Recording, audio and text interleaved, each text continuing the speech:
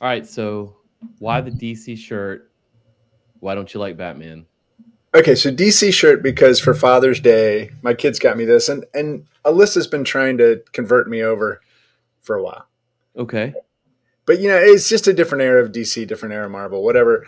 Marvel's Okay. now coming out with a Kraven the Hunter, where he's not a hunter anymore, and he loves animals. So Marvel may be losing their way, but that hurts my I soul. got this shirt. Hold on. I also generally hate shirts with stuff on the back. Okay, but know. you know, Oh yeah. Father's like Day present. to, uh, But you know, what don't I like about Batman? I, eh, he's fine. I mean, it's just the whole. There's no way he could hold his own with Superman no. in that universe. There's just no way. And so it's when they do that kind of stuff, it just annoys the crap out of me. It is right? annoying. But it's also kind of like, I don't know. I guess the Hulk and Daredevil. Not that they ever went at it, but but you get that kind of thing. Anyway, Yeah. Gene, I haven't seen you, dude. It's been a bit. I, I sent you that text. I said, hey, I need to put pause Yep. on you. On Okay. me. I did not do that. I did not say that. I did not text that. I did do it right here, but however, we will uh, we'll, we'll edit that out. Um, things are changing like crazy, man. Not just my lack of a haircut. It's But, getting a little wild. It is. I, I'm going to get that taken care of later today. Shall we roll the incredible intro footage?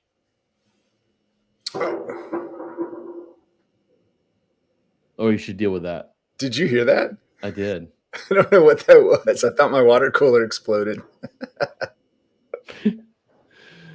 it did. Uh, So what are we doing? Are we? Is this the episode? I think so. I think we just go. We just go. I Um, think it is. so anyway, yeah, I I shut you note and said we need to put the podcast on hold. We put just about everything on hold except for I saw that. uh, the newsletter, and that's because we're kind of changing everything up. so what's going on? What are we Um, changing? I think the biggest thing is we got to this point now where we don't have to just do a whole lot of events to be sustainable. So now being able to slow down and look at everything, I can see where the challenges are in the bureau because of the growth. Okay. It's grown so fast. That is a good look. You should you should keep that. I like it. Um, no, we just as we're going so fast, the foundation started showing cracks. Right? hmm It's like suddenly you've got so many more new people in a conversation that you were just in, and you're you're talking with some people, and suddenly six, seven new people show up each week, and you're like, okay, I'm having this conversation. Why is that person here? Where did they come from? Right. And you could see, you could say some of it's onboarding, right? Like you do a better job of onboarding and letting people know who's coming in, but it's growing so fast, which is a wonderful problem, whatever. Um, for some folks, it's getting a little not annoying, but just I, I'd say it's losing some of the value because it doesn't feel as intimate as it once did. I got you. Yeah. Well, I guess that's what happens when you've been around for a while. Well, yeah, ten years, right? And then, Yeah. um, but but the thing you have to realize, like we did this uh, Better Bureau survey, asking everybody where's the most value in the community. Slack conversations was number one. New relationships, people that I meet, is number two. Hmm. In-person events number three. Online events number four. Resources, library, that kind of thing number five. Um, now, what I didn't realize until I was talking, we had like a little, uh, you know, one of our bureau sessions, the first one after the survey, had some people come on, and um, probably had about 40 people that showed up that just wanted to talk about it. And uh, one person said something that was really intuitive when we went back and looked. And they said, um, Yeah, I couldn't rate an in person event because I joined during the pandemic. Oh, wow. So in person's going to take a hit, and Slack Yeah. conversations are going to are going to go up. And then when you take a look at it and realize that we've grown over a thousand percent during the pandemic, Right. that's going to skew those those numbers. Which also means like the old guard, who's used to going to events and stuff, they're Right. going to be like, Slack is great, but I want to see everybody. Yeah. Does that necessarily mean that just because they joined, they didn't attend an event, an in person event? No, in fact, a lot of people um, did well, not in person. A lot of people have only attended the online events. Wow. Okay. Yeah. Well, Wow. for two years, figure we. I mean, we've had some camps. They're not Mhm. exactly the the most accessible because of the cost Right. and also the time and the travel. Like we got two events coming up at the end of the year, both in Costa Rica, and there are people who want to go but don't want to travel international. So it's like that. That's kind of. I mean, it's very popular. It sold out really quick, but those are the other things. But I think the bigger thing is when the bureau grew, it grew organically. hmm We have so many different types of people in the community now. I mean, like if you just look, if, if you call it the Bureau of Digital, which I'm actually moving away from that too, but you've got owners of web shops, you've got those that consider themselves digital agencies, you've got um, web, you've got um search shops, marketing, you've got uh, hmm brokers, you've got consultants, you've got different types of people coming in. Um, and you've got creative shops, right? So you may have like more of a traditional advertising agency that doesn't really have a digital presence, Right. But we all have the same challenges, right? But when we're all in the same room, some people, their customers, their prospects are in that room. Like if you're a broker or consultant of certain types, right? hmm and that's kind of been the fastest growing segment in the last two months. Brokers. Not just brokers, not, not- and when I say brokers, I mean sometimes these are just people looking to connect, n- not necessarily a shop to sell. Got you. Got you. It could be you know helping a shop find the work they need, or Right. they have a customer or whatever. But Right. um, that's that's kind of the thing that I'm I'm working on is how do we get everybody with the right people, meaning the people who have the same context they do, right? Like I, I also run a search and marketing firm. hmm um, but at the same time have enough variety in there that it's not just the same Right. so for example if you're having a financial question you would want kind of a financial expert to be Yep. able to help out as Right. opposed to you know people just sitting there looking at each other going i don't know it sucks that we all have this problem yeah. right which Yeah. honestly a lot of the bureau over the last four or five years has Yeah. been people saying it kind of sucks we all have this problem so hmm. that's what i see as part of my responsibility now especially as the member revenue helps calm things down Yeah. So we can actually focus on what's the best thing for the community That's pretty cool. So what you said you're getting away from Bureau of Digital. What does that mean? well i, I think a big part of it is so digital is obviously the the origin of it's where i came from in a lot of ways you know advertising and then digital it's how we met Mhm. it's a, a huge connecting point for a lot of the people currently in the community that's not going away basically and, and i've shared a little bit of this with you and I've, I've shared it in like the newsletter some other places but we're going to take the i mean we're, we're rapidly going towards a thousand members right and and that's just not that was interesting um it's just not I definitely need that haircut man oh my god what is happening um Get ah! wild. Get a little crazy. I know. Carl going wild. But uh but looking at how do we break into smaller groups? hmm Um so on two levels. One, how do we just get all the the digital agencies in a group because they're going through the same thing, hmm right? But then take it a step further to where you have a smaller group, which we're calling bureau circles. And this would be like it's gonna be somewhere between eight and twelve people that are just in your immediate group. And that's the way we're going to scale intimacy, which has been a challenge that we've been dealing with for the last Mhm. five years. So to do that, um, and when you realize that a lot of, I, I've heard this from a lot of people who are in a creative industry, architecture, for an example, that really thought the things we were doing sounded applicable to them, but they're not in digital. So they didn't want to do it. And and also it's not about trying to be all things for all people or all businesses. Right. It's about making sure we have a place for different types of, of people. That's cool. So yeah, so I'm I'm leaning towards bureau communities right now. That's cool. Yeah. Yeah, I've always thought that the just talking about websites, the the production process of a website mirrored the film industry. Like almost to a T. I always thought that like why didn't we call Yeah. ourselves producers and directors and stuff? Um, because you know the people from the film industry have could have so much insight in the way we do things that they've dealt with a similar situation like for years and they've solved it. And you know, of course, we're reinventing everything all the time. So well, and, and in, in fairness to us reinventing things all the time, the tools we use change all the time. The process too, we use change all the time. You know, so it's like, and I appreciate that film has that same thing going on, yeah, right? Um, but then even if you look at other professional services groups, right? Yeah. Legal, financial, Mhm.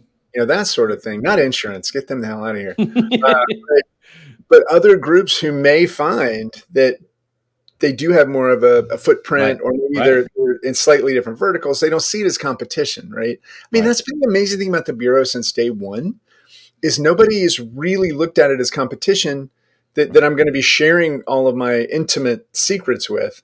yeah, But I think maybe those people just don't show up. They Probably see not. it, and, you know, because because when we do have people sign up like that, um, we do uh, kind of pull them aside, and I'll say, "Hey, just so you know, you're going to have to share. You're going to have to be, you know, vulnerable. You're going to have to do all these things. If that doesn't sound cool, then don't do it. right, right. It's not worth it. No, Yeah. totally not. worth Yeah, it. I think you're right. And and from day one, you've like even from the very first event back before you took it over completely was, you know, a gentleman's agreement, a gentle person's agreement to like don't share these stories, you know, like outside of the Yeah, yeah. room we're in. And, and I I've always, promise not to I've reveal that. Yeah, that a reasonable person would deem sensitive or confidential. right. That's That oath. part of the digit the the DNA of of Bureau, you know. Yeah, for sure. And I think what's really interesting is now last week released the Your Bureau survey. So we had the Better Bureau survey, which kind of just I wanted everybody to say what are the most important things, what are the things we can't get rid of, what are the things that don't matter. Like we spend a ton of time on the resource library. Right. Where does it rank? It's Yeah. in the bottom, right? And it's just like good news, we don't have to do it. Bad news, sorry, it took two years to find out. Um, but then when you start to look at that and realize, okay, this is what matters, then my vision for this, and and this, I mean, it's going to annoy some people, and I get that, but I think anytime you you make real change, Mhm. that means that some people are going to feel like, why would you do that? And Right. Right. I did have I had a really good friend, a couple of really good friends ask, "Why are you changing things?" It's going great. And really it's because I feel like I'm serving at the pleasure of the community and Right. if things aren't quite right, we can make them better. This is not about the amount of money you can make on membership and sponsorship and all this kind of crap and events. For me it's not. It it's truly about how do I reconstruct this core concept and platform so that people can get back to those just real relationships and, and intimacy and all the things that we got out of 2012. I'm not saying that we can mm-hmm. recreate it in a laboratory, but just to try to, at the very least, get things so that you know who's in a room, right, is going to be a big way to go. But but the other side of this, along with pausing the podcast and some of the other marketing stuff, and, and this is going to sound really weird to some people, but put a hold on sponsorships and partnerships. So like the ones we currently have, you know, are obviously intact and we're using them. I didn't I didn't like shut it down and give money back. I ain't stupid. Um, maybe a little.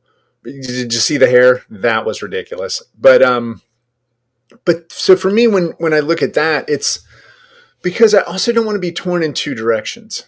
And Right. this is something that's happened, you know, right up until the pandemic, really, and, and maybe even a little bit after, where the bureau was not financially stable. It didn't have anything like the membership revenue to to make it just okay. Like I'm not worried like I was for four years. Right. Um, and you would get a, a sponsorship for like 90 grand, right? Um, and you get some smaller sponsorships in the like 20 to 50 grand range. Anybody listening is probably like, holy crap, that sounds amazing. It was, except that I'm now beholden to them Mhm. and they want information. Not not all of them. I mean, everybody that we sponsored with, with the exception of a couple that you know we had to Yeah. boot, Yeah. really great. Um, but I am feeling like, okay, I need to get them more information about the community in a generic way, not in any kind of privacy right. sensitivity way. I need to find ways for them to get value out of this. And it takes me away from the community and making sure the community gets what it needs. So well, definitely make you not want to change anything. What's that? I said it'll definitely make you not want to change anything. Right, exactly. Because mm-hmm. I mean, everything's working. Mm-hmm. But you also know this about me. I have to tinker. I am one of those volatiles that when things seem fine, that's when we really get animated and ready to roll. So that it's it's all kind of uh, it's weird to say it out loud. I've got so many notebooks just with things sketched out, kind of mad scientist looking. As again, the hair started um, with the hair. But when I look at it, I'm not saying that sponsorship partnership won't come back. I'm just thinking it's going to be different. Right. And for a lot of people, having a variety of folks in the channels when they're trying to have the conversations can be really disrupting because they're like, oh, I don't want to say this in front of mm-hmm. this person, this group. Um, so it'll be interesting. I, am actually playing around with the idea of sponsored channels. So these would be like SME channels, subject matter expert mm-hmm. channels, um, that sort of thing. But for now, it's it's really about this your bureau survey that just went out, which is telling me so much more about each individual. So I can start to find different ways to connect people we may not have known about. We, we have somebody in the community who, in their age and weight class, holds national lifting records.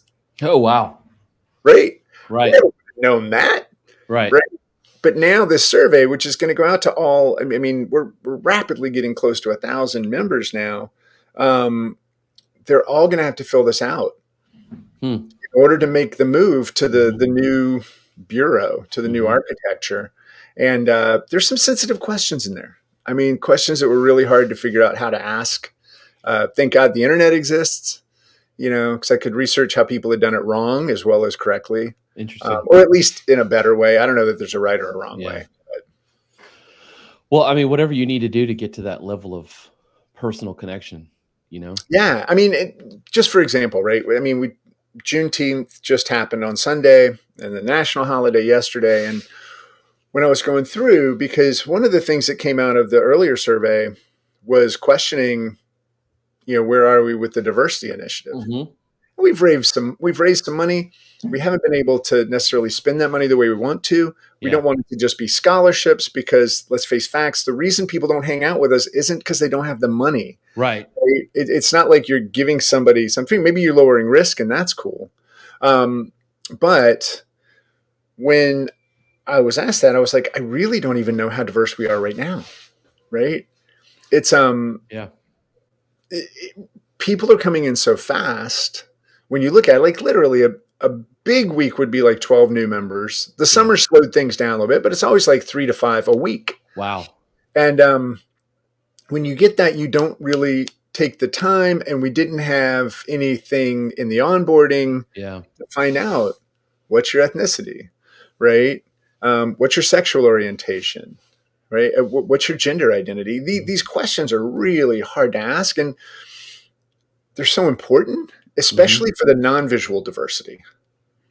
So this this has become. Um, it, I mean, it. We literally took about a month putting this survey together. Probably about a, a week for the initial draft, and then a week to figure it out, um, make sure it felt right, and then kind of testing it with some people, and then yeah. you know modifying it and getting it out there. But one of the things that was really important to me was, and, and we, remember, we're going to have like almost a thousand responses on this thing. Working with with our research person Nick, um, he was like, "Well, you need to be able to make sure that you can actually analyze this data." Yeah, right. But so race is a construct, right? We we've all talked about that, and um, ethnicity and, and that sense of where you grew up and your culture and this sort of thing. So that was the way that I went, and also not trying to put it in a checkbox, but instead say, you know, how do you describe your ethnicity? Hmm. And what's been really interesting is seeing the people who come and say, well, I consider myself Danish, right? And now they're like going through this whole thing. Whereas if we just said, you know, are you are you white? Are you Hispanic? Right. Are you black? tell you anything. Yeah. Native American, whatever.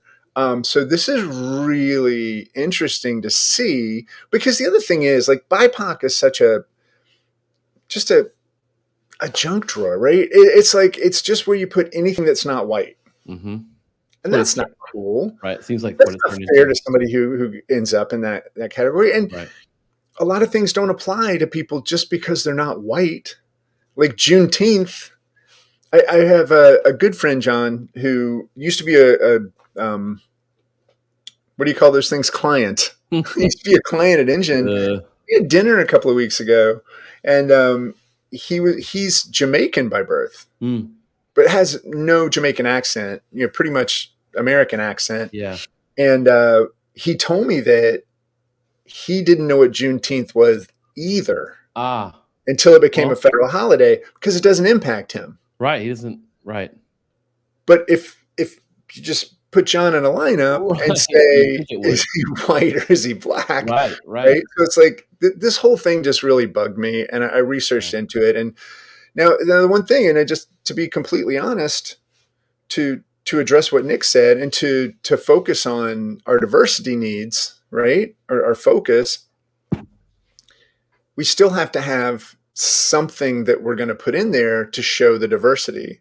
Mm, So we do have uh, one of the people who helps us out, an admin, is going in there, looking at it, and saying, "Okay, white or not white," right? Because that's that's how we judge ethnic diversity or racial diversity, if you want to call it that. Um, but then we we get into gender identity, and it's the same thing, right? I'm not gonna I'm not gonna know hmm what these check boxes are. In fact, um, one of the people who responded responded transmasculine. And I had, to, I had to ask my daughter. Yeah. Yeah. I was like, Alyssa, what is transmasculine? And so then she explained it to me. I like, ah, okay, I got it. Um, but if I had just put transgender, Right. we wouldn't have gotten to that deeper understanding of how that person sees themselves Yeah. or sees themselves. And so that's the other part of it. And then also with sexual orientation. hmm there's not just one or two. I mean, and, and in fact, you know, getting back to the LGBTQIA plus, well, you have sexual orientation and gender identity mixed into that. hmm Definitely not the same thing. hmm You know, who you love and who you feel you are Uh, yeah. related, maybe. Yeah. But again, I think, it, it, and I don't think this is just America. I think it's just one of those No. things where we're trying to understand, but we understand through categories. right. And that's just painful. So th- that That's was what we want to do. Yep. that was a really tough part of this whole process was figuring out how do you ask that, how do you explain why you're asking it, um, and I'll say that everybody's responding to it, even though there may be you know, I, I don't think it's I don't think it's upsetting anybody, and if it does, Right. I'm sorry. Yeah. Yeah. If my focus is going to be building a truly diverse community or set of communities, um, this is how I can find out. And and that I never would have known that if some of the people in the community hadn't said, "Where are you?" And now I now I know. Now we have a much better picture coming together. And honestly, we're more diverse than I thought. You know, and that feels good. Now we're early on in getting everybody to respond. but um but that feels really good. It's just uh and obviously that information stays private. right. Right. Right. Um, but it does help us um, because we also have a special interests and a, um, like a, I guess, hobbies and things you do for fun or to relax or whatever question. And that's going to really help drive what are new clubs.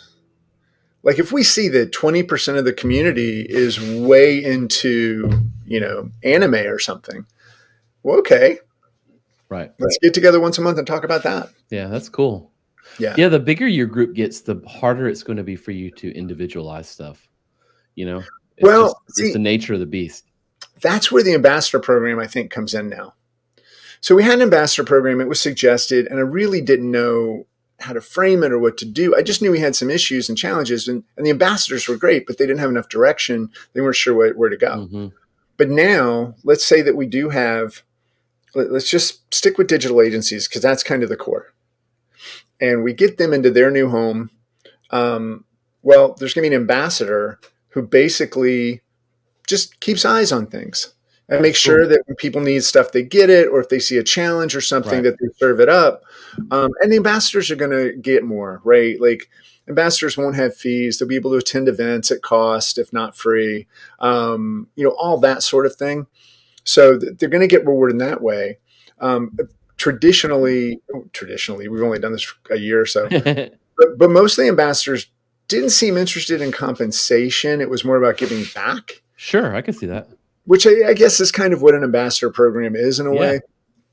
But um, but so I see them playing this role now where let's say that, that we've got the the marketing mm. community well we have people who run marketing shops that are ambassadors right and so now they can be there and they can keep an you know just like i said keep an eye on it mm-hmm. and also I, I, think the other big part of this is once we we get into the smaller groups there's still going to be connective um, topics and things that are going to be at a high level so there is still one main bureau where all of the communities can come in. And this is where we'll talk about health and wellness, right? This is where we'll talk about anti racism. This is where we'll talk about team dynamics, things of that nature. But in the in the smaller communities, that's where you're going to talk about, you know, probably how the economy is impacting you. Right.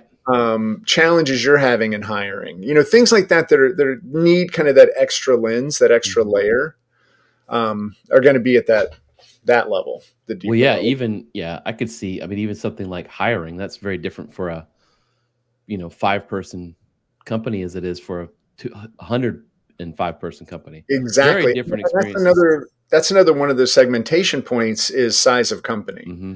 So yeah, there will be a high level with all digital agencies, but there'll also be you know a place for shops that are 50 to 100 people to talk that's awesome yeah because yeah. you can't you can't tell that in a slack avatar you know i can't i can't right click you and be like oh this is all the info yeah right um you will in a way going forward. I haven't figured out exactly how we're going to do this, but a big part of the Your Bureau survey is creating the first official member directory we've had. Oh wow! We had a directory the communities put together, right? That was more of a business kind of who does yeah, what, yeah. how right. can we connect thing. And I don't know what happened to it. Airtable like just decided to poop it out one day. It's like gone.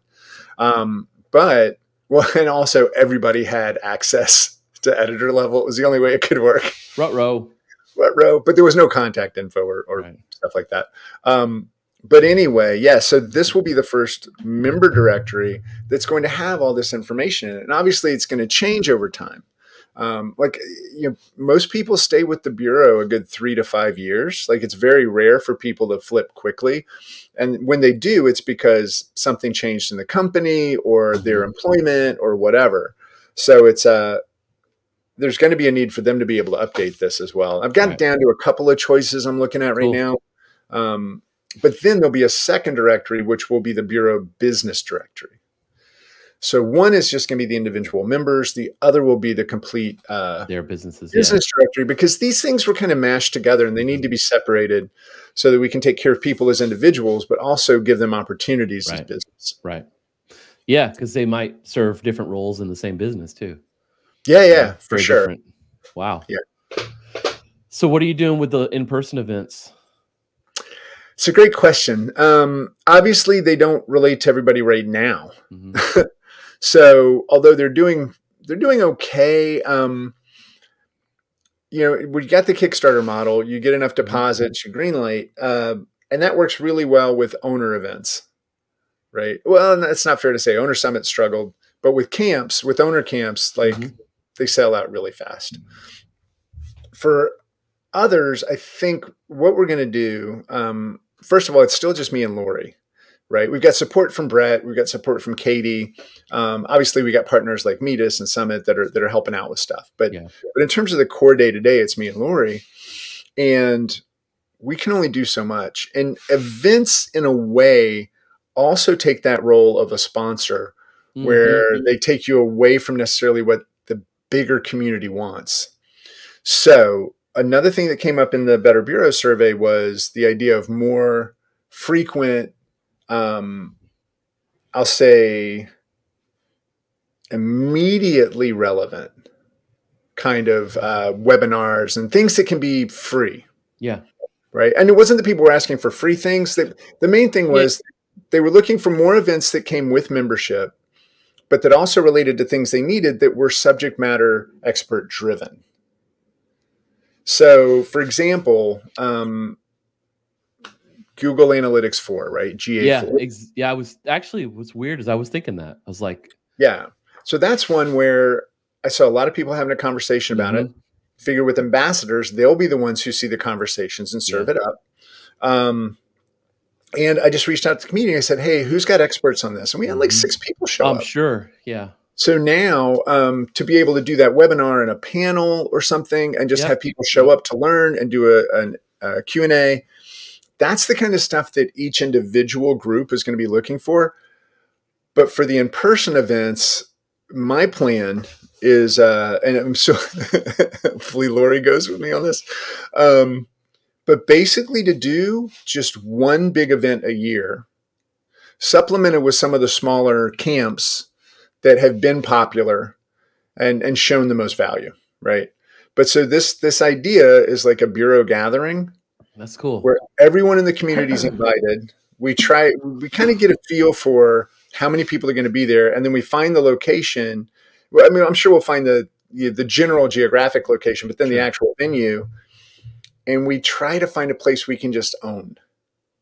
So if we end up with 300 people, let's find right. some place like Paradise Point in San Diego, right, right. where we at 300 are pretty much going to own the joint, um, and then kind of uncamp it where people have there's a big board or you know obviously online and slack or whatever where people can just say hey i'm going to be discussing this yeah and we will assign a location and then we'll say okay gene is going to be talking about working out and working and this is going to happen at the gazebo over on fleming island or whatever.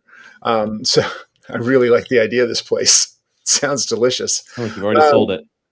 but then if you know if people want yoga in the morning or mimosas in the morning like whatever it's just going to be right. that kind of a thing. It will not be overly structured and the, the conversations we do have i could still see us having a keynote or two but it's going to be on a higher level like leadership or something like that that benefits everybody and if we continue to grow like we are we'll be able to get some you know pretty high profile really on point people to come in and talk with us about different topics so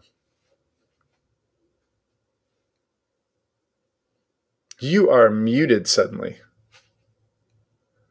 Have you used this before? that's all right. I was just going to keep talking anyway. Um, so that's the idea for uh, for splitting it up. And then I think also we'll have the opportunity at those bigger events where if, if you're in a bureau circle with, you know, your 8, 10, 12 other folks, you'll have an opportunity to meet them in person too. So, and and Gene, I know you're suddenly off the air, and you don't know what's going on. I read lips really well, um, but we're kind of at the end anyway, right? So, on behalf of Gene Crawford, who has somehow muted himself indefinitely, and myself, thanks everybody for listening. Um, hey, he's back. I know. Lots of changes going on here at the Bureau, and uh, we are wide open for input, suggestions, concerns, whatever. Uh, but I was telling Gene, I think I was telling you the other day, I just feel like I have a clue what to do now. and awesome. before that, it was just hauling ass nonstop. Well, it was it was probably fifty percent recovery and fifty percent not letting it go down the crapper because of COVID. You know. Yeah, I and think that's a lot of it. I'm just man, I'm I'm I'm just fucking proud to know you and to oh, have man. have known you since I remember at Front End Developer Conference. Like I don't even remember the year. It's probably like 2017, 2018 or something like that. And you were like, "Yeah, we're going to roll out digital memberships." you were like, I'm just gonna do it. I don't know. I don't even know if anybody will go for it. and then it sold so fast. And to see it like be an actual thing, and it's it's incredible. And to actually be part of a Slack community too. Um, yeah. It, it's it's it's a real thing, and uh, I'm like I said, I'm just proud to know you and have been there since. Oh, since thanks, all that. man. It's incredible. You know, I also want to say that uh, over the past probably six months, I've seen some of the the old community that I was part of as nGen. I've seen people who were never part of the bureau that are starting to join the bureau, and um, it's just it makes it's weird. It's like worlds colliding. You're like, I'll Like, get them all. Local folks, and you're seeing uh, some folks who only knew me from nGen or whatever. Wow. Uh, so that's that's a lot of fun too. But yeah, it's it's exciting, and and everybody who is listening, the podcast will come back. We're just going to have to refocus it on what will make the most sense. Um, honestly, you know, when when I was doing the interview thing, we were getting like a thousand listens, and now we're getting like 150 to 200, Yeah. which that's not what it's all about. It's about me and Gene seeing each other once a week. We're gonna do that regardless. I mean, come on, y'all are just you know you're just lucky bystanders. Um, maybe innocent, maybe not. But uh, but so that's something. Are we going to go back to interviews? Are we going to get into different topics? And Yeah. and one of the challenges I have to figure out right now is, does the podcast become for members only? Does the newsletter become for members only? Mm, That's Um, a, that's because a if it question. does, we can do a lot more. Yeah. So Yeah. find out. We'll see. You guys hold on to your butts. Yep. Thank you, Samuel. Yes. Later, All right, man. everybody.